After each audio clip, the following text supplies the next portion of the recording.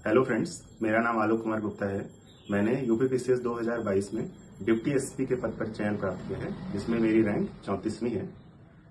UP PCS की journey में study for civil services ने एक बहुत महत्वपूर्ण योगदान प्राप्त किया है, क्योंकि यूपी पीसीएस का प्रीलिम्स मेरे लिए बहुत ही चैलेंजिंग रहा है, अपने फैक्चुअल नेचर की वजह से। इस चैलेंज को एड्रेस करने में यूपी पीसीएस के क्विज ने टीवाई क्यूज फैक्ट्स और जो भी रेलिवेंट डेटा है उसके बार बार रिविजन करके मेरे लिए प्रीलिम्स की राह आसान हुई है। इसके लिए मैं स्टडी फॉर सिविल सर्विसेज़ का धन्यवाद देना चाहूँगा।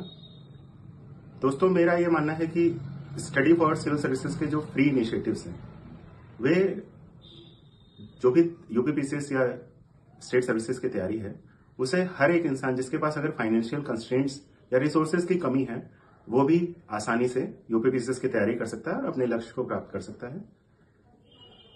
इसके अलावा दोस्तों मैं आपको जैसे यूपी पीसीएस की जो जर्नी है, वो बहुत ही एक लंबी जर्नी होती है। ऑन एन एवरेज दो से तीन साल लोगों की वो जर्नी खिंच जाती है। तो इसके लिए मैं ये देना चाहूँगा कि हमेशा आपको अपना एंड गोल तो ध्यान में रखना चाहिए।